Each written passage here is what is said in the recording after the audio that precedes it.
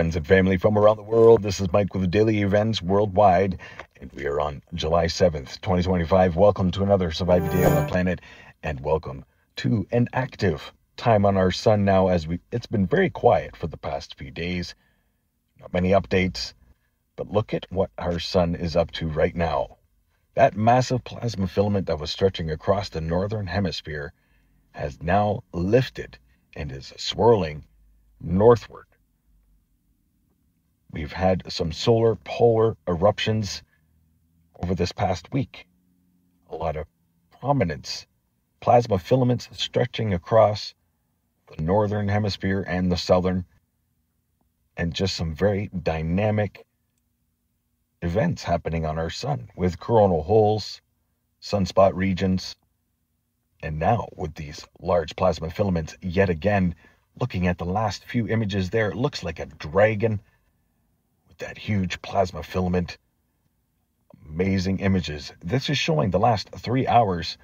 So this literally happened about two hours ago. Looking at three hours of imagery on our sun.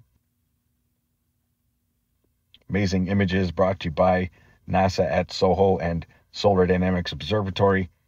That was the solar ultraviolet viewer Look at our sun here, multi-spectrum, big plasma filament, northern hemisphere.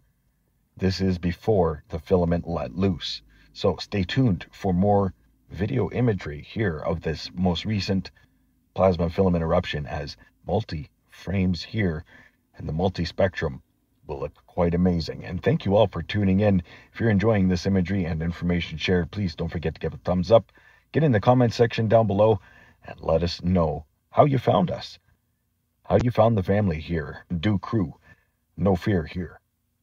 Here's a look at LASCO 3 showing a wide spectrum of cosmic energies leaving our sun the last 48 hours. So this is not including this most recent northward plasma filament eruption.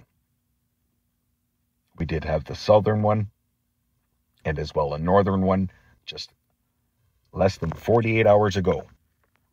And now we're seeing yet another one, as Venus is leaving view, and we had a sun diving comet. There's so much activity going on. Stay tuned, and thank you all for your patience and loyalty to the channel. Much love. Stay safe and healthy out there. You're prepared, and prayers for humanity. Much love, and thank you again for watching. Thumbs up. Bye now.